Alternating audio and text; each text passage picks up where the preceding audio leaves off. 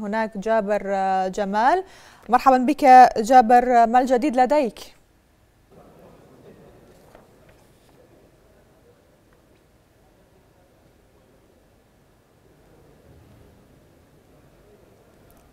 نعم جابر هل صوتي واضح؟ نعم جابر نعم, نعم راني إذا كنت نعم تسمعني يعني أنت في. داخل مجلس النواب ما الجديد لديك؟ الجلسة قائمة حتى هذه اللحظة رانية وباشر البرلمان بالقراءة الثانية لقانون الدعم الدعم الطارئ للأمن الغذائي والتنمية. هذا القانون الذي شهد خلافا وتأييدا منذ صباح اليوم وحتى الآن مع مؤتمرات واعتراضات من قبل نواب مختلفين سواء تابعين لكتل أو مستقلين. وبالحديث عن المستقلين سينضم معي لاستغلال الوقت طبعا السيد النائب حسين السعبري النائب المستقل. مرحبا بك سيادة النائب. سيادة النائب نتحدث حول هذا القانون. هنالك حديث حول هذا القانون بأنه سيكون منفذا للهدر المالي العام وأنه غير مطابق لما يحمل من صفة الدعم الغذائي الطارئ والتنمية. بسم الله الرحمن الرحيم. أولا أشكركم على الاستضافة.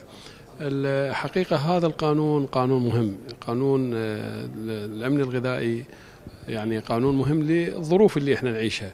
لكن السؤال اللي يطرح نفسه اليوم هل من الممكن على حكومة تصريف الأعمال آه، رفع هكذا قوانين لمجلس النواب؟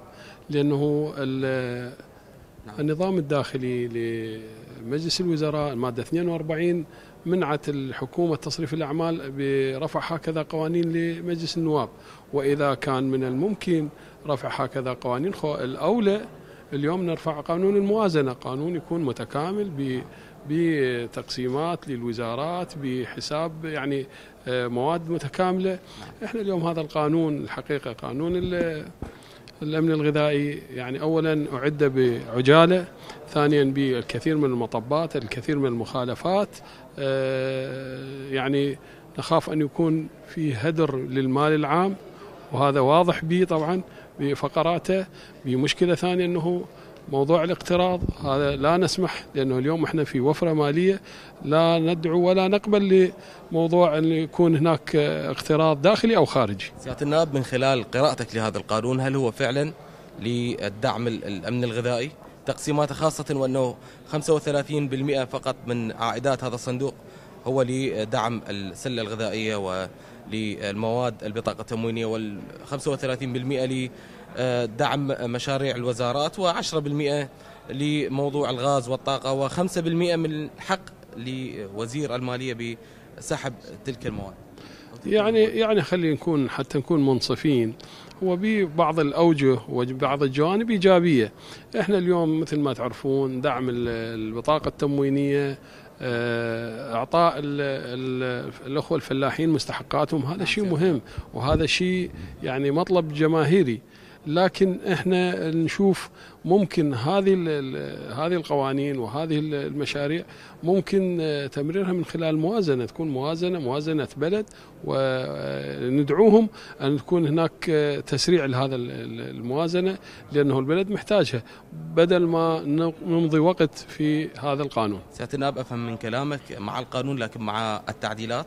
نعم اذا إذا كان القانون بتعديلات و آه، مطالب آه، ورفع آه، أماكن الهدر المال العام ممكن تمريره لأنه ناسنا بحاجة هذه القوانين.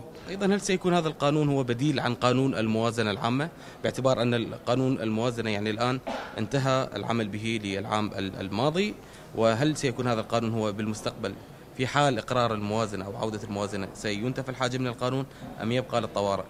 يعني الحقيقة إحنا شفنا بعض الجهات تحاول أن تمرر هذا القانون حتى يكون البديل لقانون الموازنة إحنا اللي عرفناه من الأخوة النواب أنه في سنة 2019 في يعني السنين السابقة مرينا في ظروف وأكو كان حلول في مجلس النواب وأكو قانون مقر للصرفيات لكن واحد على 12 واحد على 12 فممكن تمرير يعني تمرير هذا الموضوع من خلال القوانين السابقة.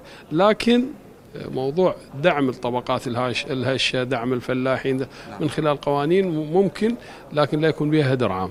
سيادة النائب إلى جانب القانون يوم الأربعاء آه، تتجه الأنظار حول التصويت على منصب رئاسة الجمهورية وأيضا تتجه الأنظار عليكم كنواب مستقلين.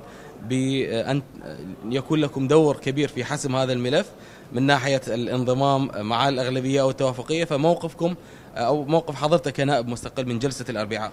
يعني إن شاء الله من للاربعاء 48 ساعة راح يكون عندنا أكو آه، حركة للأخوة المستقلين النواب المستقلين لأن حتى نظهر في مظهر واحد في موقف واحد لأن الموقف الواحد اليوم مهم. الحقيقة قلت كلام إحنا اليوم مو إحنا حل المشكلة. مو آه، مو إحنا لب المشكلة عفوا. من سوق أو سوق الآن يعني في الإعلام أو في البيانات أن المستقلين لهم دور الأكبر. صورة للجمهور وللناس إنه اليوم المستقلين هم اللي عندهم الحل مال المشكلة. لا إحنا اليوم دخولنا في مجلس النواب في الجلسه أو خروجنا من عندها هذا لا يعني إنه إحنا مع طرف أليف أو طرف باء. حقيقة إحنا لنا موقف وطني. إحنا آه، يعني لا نكون مع حكومة توافق لأنه خلال 18 سنة. شفنا حكومات التوافق وشفنا التنصل من المسؤولية. وفي نفس الوقت اليوم آه، لا نقبل بحكومة أغلبية آه، أن تأخذ الحكومة ومجلس النواب. إحنا مع تقسيم الأدوار أن تكون حكومة قوية ويتحمل مسؤوليته لشكل الحكومة ومع مجلس نواب آه، مع معارضة لها التمكين في مجلس النواب في هيئة الرئاسة في رئاسة اللجان حتى ممكن تراقب وتشرع للحكومة وتكون الجانبين قوية. من خلال يعني آه، قربك من بعض الكتل السياسية أو يعني داخل البرلمان أتحدث هل لمستم وجود آه، مفاوضات ما بين الإطار والتيار يعني يعني يعني اولا إحنا نتمنى من أخوتنا في الإطار والتيار أن يوصلون إلى حلول وإلى تفاهمات وإلى آه، يعني حلحلة هذا الانسداد السياسي. أكو أمل آه، اللي وصلنا إنه بدات تشكيل لجان ل آه، نعم يعني جابر إذا كنت تسمعني ان شاء الله إذا تستطيع الآن تسمعني أن تسأل الضيف هل سيكون هناك نصاب؟ المستقل. نعم, نعم. نعم. للأسف آه نعم يعني انتقل الضيف آه، نعم. إلى مكان آخر. رانيا نعم بالحديث حول النصاب. هنالك أكثر من سيناريو تحدث به النواب. نعم. آه سواء أن يعاد سيناريو يوم السبت. بايضا عدم تحقيق النصاب أو تحقيق النصاب خاصة وأن حوارات تجري الآن عبر لجان كما أكد أيضا نعم. السيد نعم حسين السعبري بوجود لجان تتحاور ما بين الإطار والتيار من أجل الوصول إلى حل نعم يقرب آه، وجهات النظر وبالتالي تمضي الجلسة بالتصويت على مرشح آه، رئاسة الجمهورية لكن لن لم نعلم من هو المرشح الأوفر حظا مع نعم. هذه التعقيدات السياسية. نعم شكرا لك جابر شكرا وأيضا لك شكرا لضيفك الكريم على هذا التوضيح.